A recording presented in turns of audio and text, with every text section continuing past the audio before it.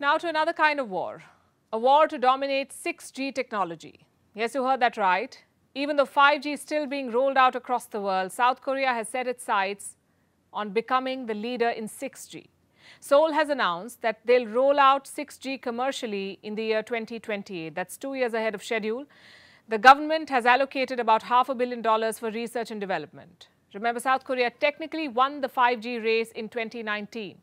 Its cities have the highest average 5G speeds in the world. It is the second highest number of 5G patents after China.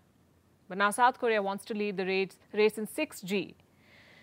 But what exactly will 6G look like? How much of the technology has been developed so far? What kind of strategic edge will it give South Korea? And where does all of this leave India? When was the last time you had a 10 minute long phone conversation in India without disruption? We are technically rolling out 5G. Most of us are supposed to be on 4G, but when your network lags, you know what telecom tech support says? Switch to 3G. India has a long way to go, but that's a story for another day perhaps. Tonight, let's talk about South Korea's 6G ambitions. 5G, or fifth generation wireless, is the most advanced mobile broadband technology in the world right now. When it was first introduced, it sounded almost magical. From remote surgery to self driving cars, from drones to virtual reality, 5G could do everything. The world is still getting used to it.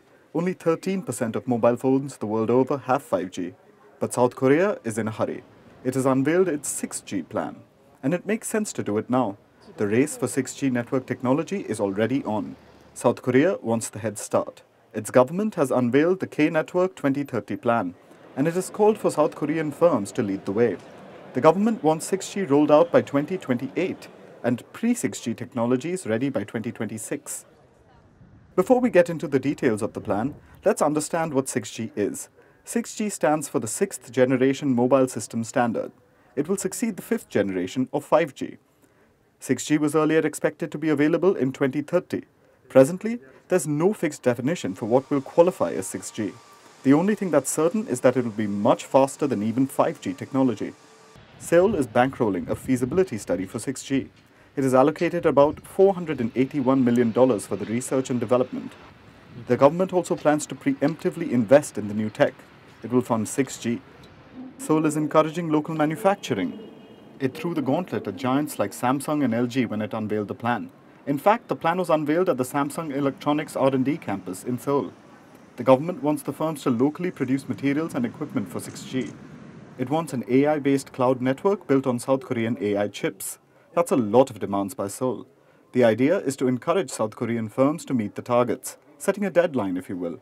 It worked during the 5G race. South Korea won that round. Its government wants to keep up the momentum. If South Korea succeeds, what will it mean for the rest of the world? The biggest loser will be China.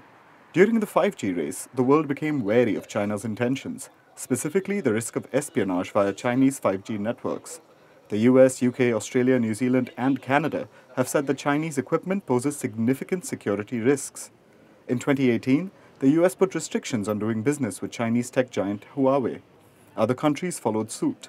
But by then, it was too late to stop China from dominating the 5G space. This time, nations are building 6G technology independent of China. The West wants to stop being reliant on Chinese mobile technology. For that, South Korea's success may be crucial.